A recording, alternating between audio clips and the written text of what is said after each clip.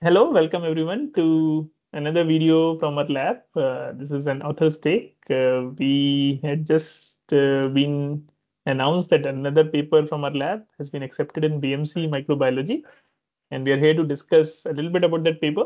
And I have with me uh, Sharu, who's the first author on this and currently uh, doing her master's in Germany. And that's why we are recording this online. So, um, Sharu, we'll go ahead and get started uh, with maybe some basic questions. So, you want to tell about uh, this study? What is this paper about? Uh, so, in our lab, we are working on the uh, on a project to develop phage therapy for tuberculosis using biomaterial approaches. Uh, so, uh, this this study is a preliminary study for that, where we have characterized the interaction between the phages and the bacteria.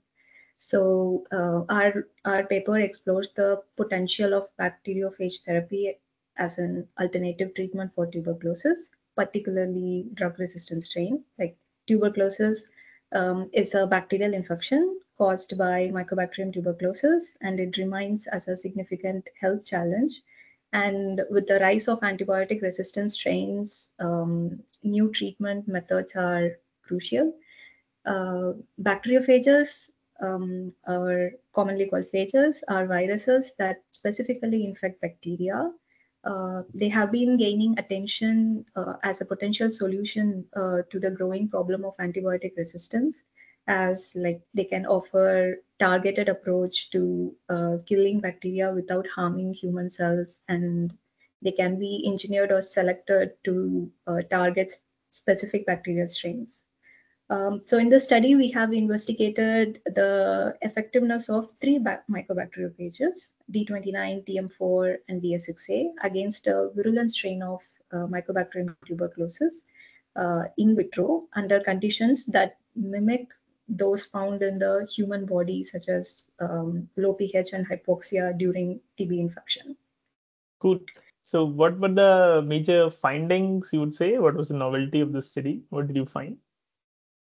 Our findings uh, show that these phages can effectively infect and destroy Mycobacterium tuberculosis at very low MOIs, that is, very low dose, even under those challenging conditions. Uh, we also identified a novel phage tolerance mechanism in which Mycobacterium tuberculosis forms aggregates after prolonged exposure to a single type of phage.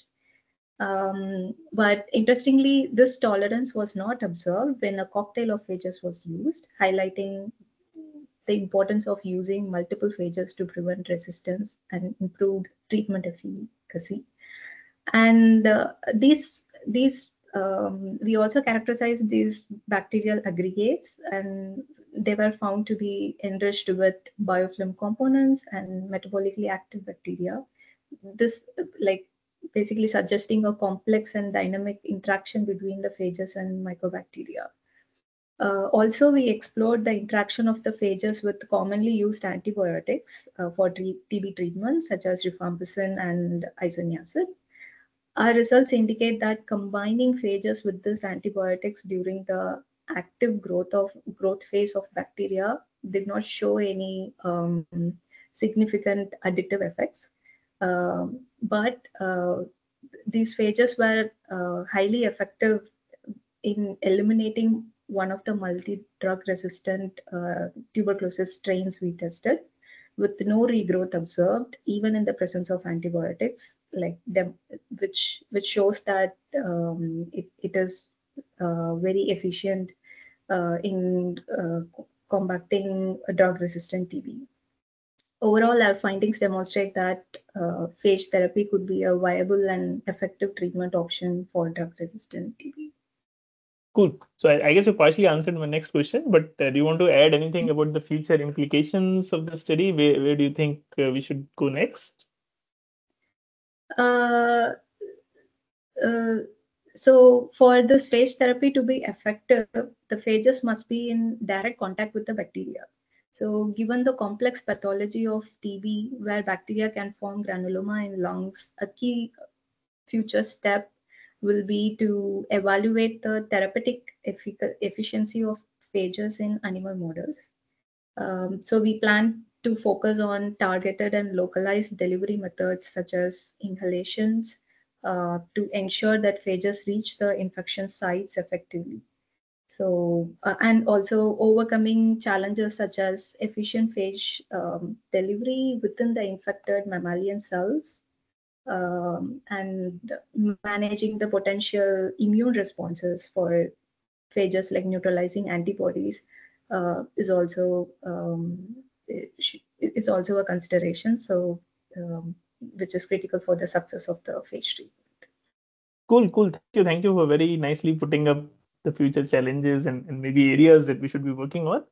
Um, so I think that sort of brings us to the end of this video. I hope all of you have enjoyed uh, this video and maybe um, uh, you'll get encouraged to read the paper. I'll put the link in the description as well. Okay, thank you. Thank you.